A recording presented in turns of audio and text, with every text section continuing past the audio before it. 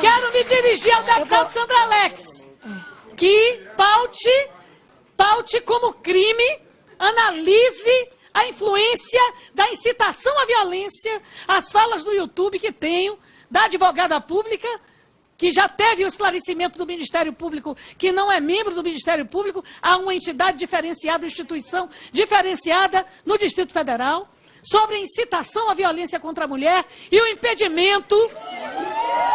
E o impedimento, o impedimento, o impedimento da defesa dos direitos da mulher, da sua liberdade de ser dona das suas opiniões Pra e concluir, de na deputado. escola brasileira o educador poder ser orientado para saber lidar com as diferenças, impedindo o bullying e impedindo efetivamente o, o crescimento da violência.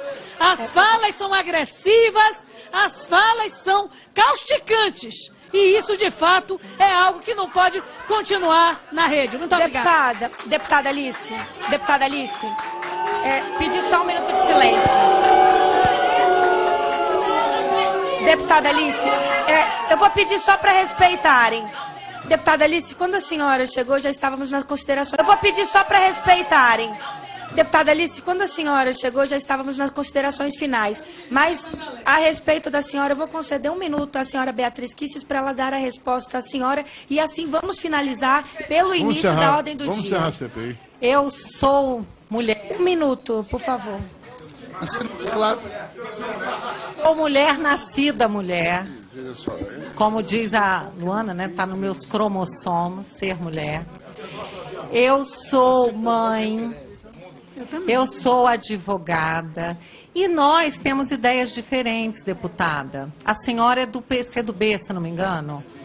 Eu não sou. Eu não Orgulho, sou. Muito orgulho. Ok, é seu direito sentir orgulho do, ser do, seu, do PCdoB. É meu direito sentir orgulho de saber que as minhas falas maltratam e ofendem alguém que seja do PCdoB. Está respondido.